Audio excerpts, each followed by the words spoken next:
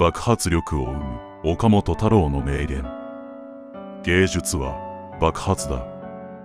決意するのだ。よしダメになってやろう。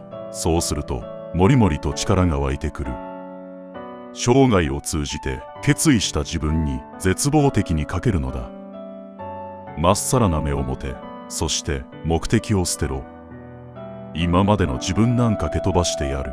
そのくらいでちょうどいい。四角い枠にこだわるな。キャンバスからはみ出せ。いいかい。怖かったら怖いほど。逆にそこへ飛び込むんだ。自分という人間をその瞬間瞬間にぶつけていく。そしてしょっちゅう新しく生まれ変わっていく。エネルギーを燃やせば燃やすほど全然別な世界観ができてくる。全生命が瞬間に開ききること。それが爆発だ。